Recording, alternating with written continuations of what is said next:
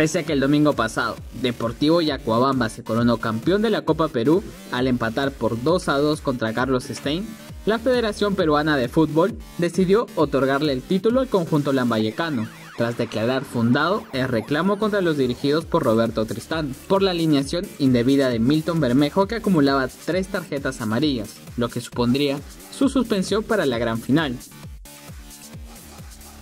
La Comisión de Justicia de la Federación Peruana de Fútbol declaró invalidado el resultado del domingo y le dio los tres puntos a Carlos Stein sobre su rival con un marcador favorable de 3 a 0. Con esa decisión, los de Lambayeque son campeones del torneo y se convierten en los nuevos inquilinos de la Liga 1 del 2020 por ahora. Sin embargo, Yacuabamba manifestó su malestar a través de sus redes sociales y su indignación por la decisión tomada por parte de la federación, y mencionó lo siguiente. Lamentamos profundamente la resolución de la Comisión de Justicia en primera instancia, que nos quita lo ganado en cancha limpiamente. Apelaremos a la segunda instancia y si es necesario al TAS.